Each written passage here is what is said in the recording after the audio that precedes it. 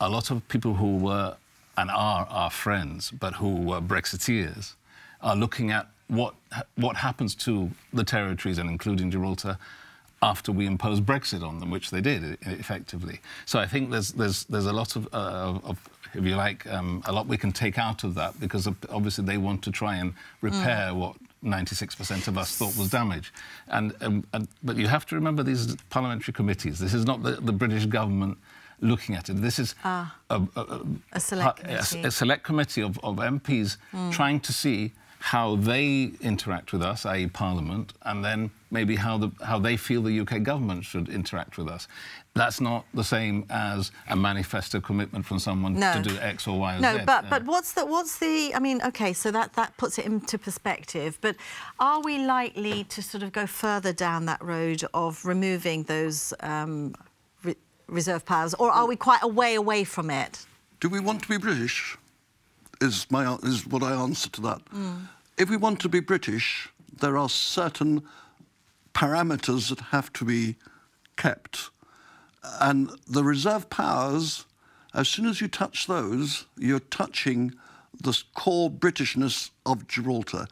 And we cannot have a debate where we're saying we want self-determination, we want to remain British, but we want more power. Because there you're heading towards independence and all sorts of other issues with international connotations. So it's, it's a beginning of a conversation. And the UK government, and Dominique, you, you, you probably know this better than I, but I, I seem to recall that we ran a story after the, the last um, uh, meeting of the OTs. And I think in the, in, the, in the declaration, the UK government said we will happily engage with the OTs to talk mm. about constitutional reform if that is where they mm. want to mm. go, and we yes. will explore. So it's the beginning of a conversation, I think. Yeah. It's, it's and Christine, with the UN in mind as well? This is all to an end, uh, this all has the purpose of getting us delisted? Well, that is one of the things that the Chief Minister told us when, when, when we spoke to him at the time, that uh, every little bit of self-governance is something that you can sell eventually towards um, getting delisted.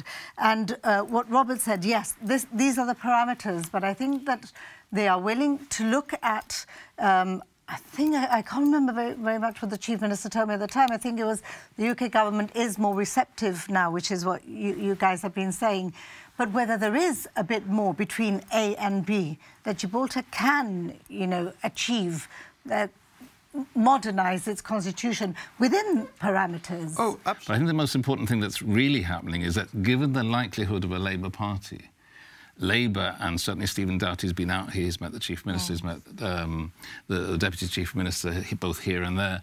Um, Labour are being very clear to all the overseas territories about their commitment to them. So this is not we're not going back. They, they, they, are completely allergic to the idea that we could go back to sort of the Blair issue. And it's not a Corbynista Labour either. No, but know, I think the one not... that worried us was always the Blair uh, joint sovereignty type thing, and that's completely out of the yeah. window. So what you're going to get in, in, in, I think, more and more, and I thought what was really quite significant the other day, I mean, when one reads a lot of these things into it, but um, Hodge using, Margaret Hodge using Gibraltar as an example uh, to the other territories in leading on issues of transparency and so forth.